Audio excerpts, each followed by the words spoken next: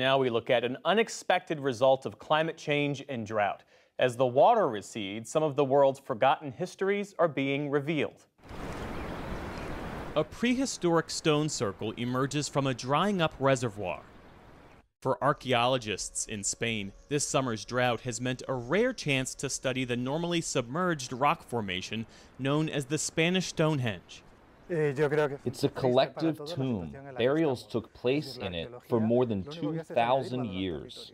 The site is between 4,000 and 7,000 years old and was first discovered in 1926. It's only been fully visible four times since then. Another shrinking reservoir in western Spain has unearthed an entire village frozen in time. 1992, the year it was flooded to create the reservoir. In Italy, the remains of an ancient bridge have appeared in Rome's River Tiber.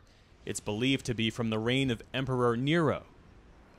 On the dwindling Danube River, near the Serbian port of Prahovo, dozens of Nazi warships are seeing their first daylight since they were sunk during World War II. Many of the warships still have ammunition and explosives on board. At the historic Chatsworth estate in England, the scorched lawn has revealed broad, ornate patterns in a 17th century garden. The drought isn't just in Europe. China's Yangtze River is at its lowest level since records began there. The receding river has uncovered the base of a 700 year old temple that normally appears to float on the water, and a trio of 600 year old Buddhist statues that were once submerged. Closer to home, dry conditions across the western U.S.